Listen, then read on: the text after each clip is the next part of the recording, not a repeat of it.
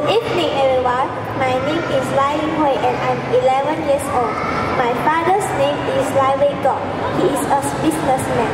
My mother's name is Fong Yok Ling. She is a housewife. Today, I'm going to tell the story by the name of The Stubborn Girl.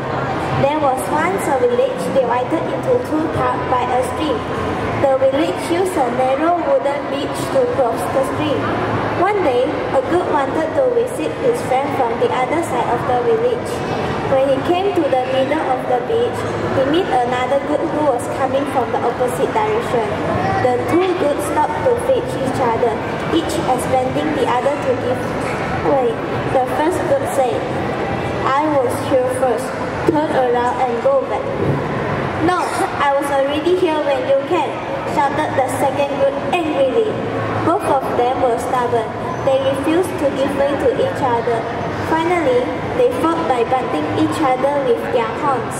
They fought until they fell into the stream. They struggled in the cold water for a while, then they were drowned.